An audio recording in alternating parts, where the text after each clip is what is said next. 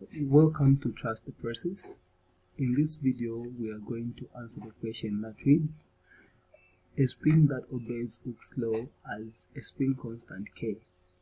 Show that the energy stored E in the spring when it has been extended elastically by the amount X is given by work done is equal to 1 over 2 kx squared. So from this expression, from the equation given here, you can clearly see that the energy that is going to be stored is going to be the same as the work done by the spring.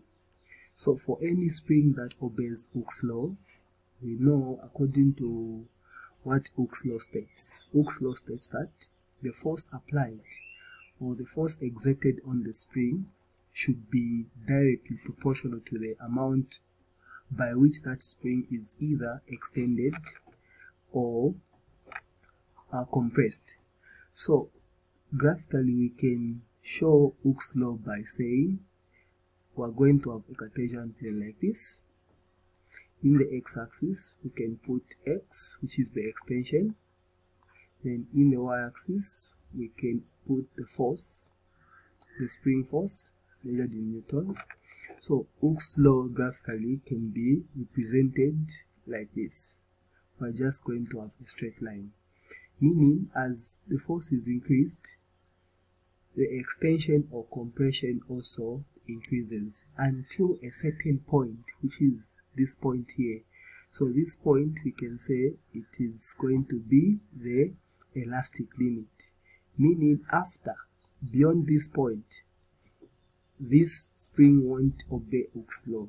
You can apply a greater force, but you are not going to expect a change in the extension. Meaning this won't will no longer be a straight line. The relationship between the force and the extension or compression won't be direct as you can see.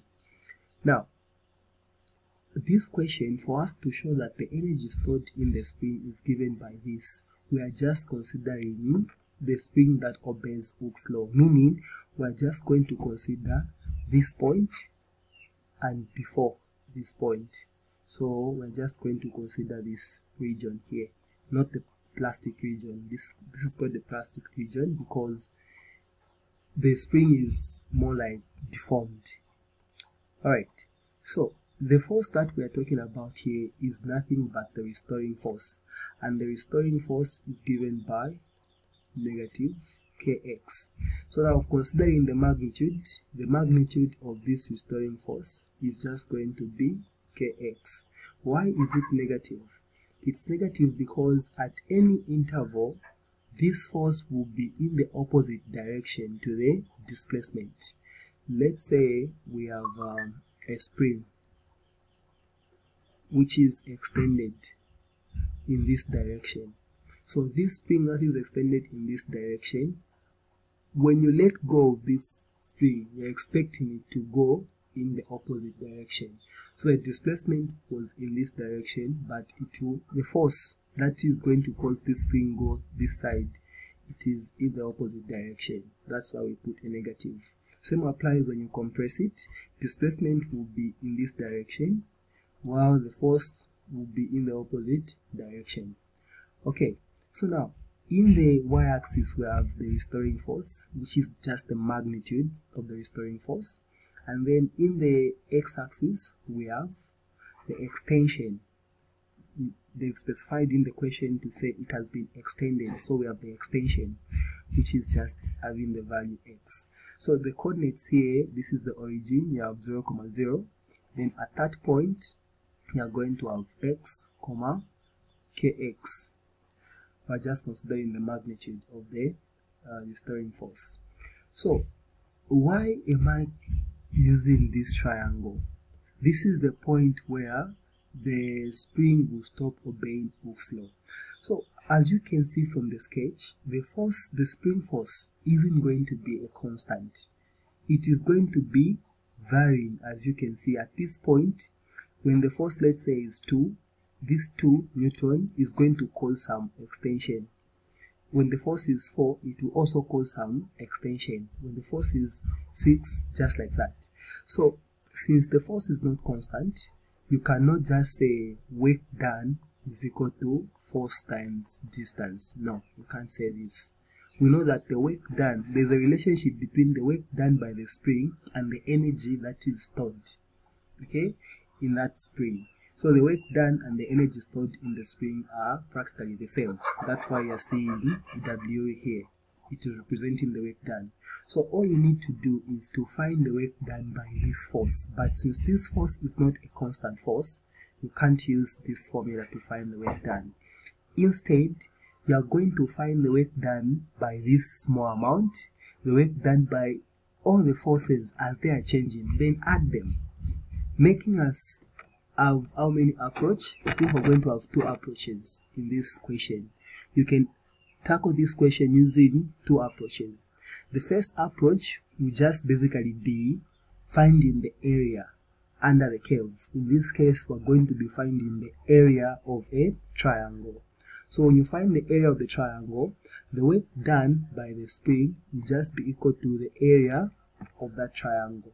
So the area of the triangle, we know it is 1 over 2 base times the height, which is 1 over 2. The base here, it is the distance from here to there, and that is our x. And then the height, it is the k, kx. That is what we have. So the work done, which is the area, is just 1 over 2 kx squared and this is the energy stored in the spring. So why were you finding the area? Because when you find the area, you are counting for all these small forces up to the elastic point. That's the reason. Alright, so now let's move to the other approach. The other approach is just by using integration method. So using integration method, why are we using integration method? We have small discrete points. We have a lot of, it's more like they have told you to count the number of sugar crystals that are in a 2 kg sugar. How do you count those? You can't start counting one by one, obviously. You're going to just sum from a certain point up to another point. So integration is just more like summing the work done by, we know that this this force here is going to do some work.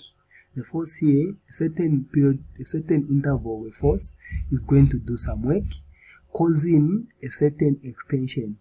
Okay, so we're just going to choose small intervals, then sum those. So if you say the work done by a small force, which you can call the work, will be integrated over the extension or it will cause some extension, small extension which you are going to call dx. So here you know that work done for a constant force is just given by uh, f times distance. So now here we're choosing a small portion of the force. Hence that small portion of the force is just going to do a small amount of work which are calling d W. D, you can think of it as a discrete, a very small amount of work. So dW will be equal to F. So this dW, it is a small amount of work caused by this force, which is a small amount of a force. And this uh, force will cause some extension, which you are going to call dx. Because this extension is also going to be small, that's why we're putting a dx. So here, what we've done is we've just chosen a small point, a small portion of the force, and a small portion of the displacement here. So if you sum the displacements up to from starting from x is equal to 0 up to x and then you sum the forces from 0 up to that point then you have found the work done by that force so finding the work done by that force, we're just going to integrate to add all the works, all these small works done by the small interval, the force, from 0 to x. From 0 to x, we are going to account for everything. We're going to account for the entire area. under the curve. So now here you just have to say uh, integrating. Integration means you're summing. So on the left hand side, we are going to be integrating with respect to w. On the right hand side, we are going to be integrating with respect to x. So here, meaning we are summing those small works, leading to a big work known as the w. And then the force that we are dealing with here, it is nothing but uh, the restoring force. So we are going to have kx then dx. But remember, what we have is the limits in the x-axis we have. The limits in the x-axis is that we are starting from x equal to 0 to x equal to x.